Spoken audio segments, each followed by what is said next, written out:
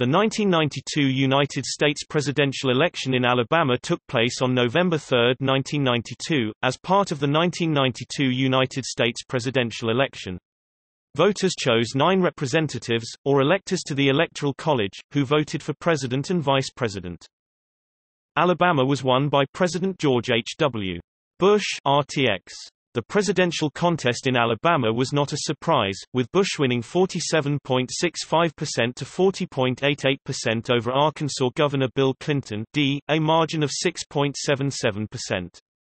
Despite the fact that Clinton was a Southern Democrat, Alabama remained a reliably Republican state. The last Democrat to carry Alabama was Jimmy Carter in 1976, who was also a Southern Democrat. Billionaire businessman Ross Perot ITX finished in third, with a disappointing 10.85%. Black belt Macon County saw Perot receive his smallest vote share in the nation, and that same county also gave Bush his smallest vote share of any county.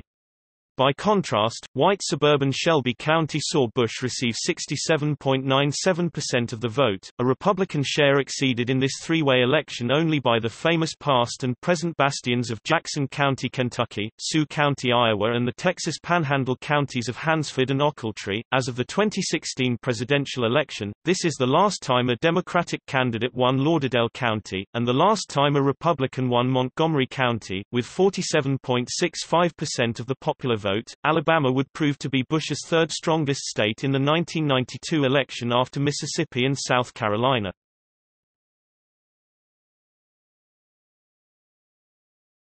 Topic. Results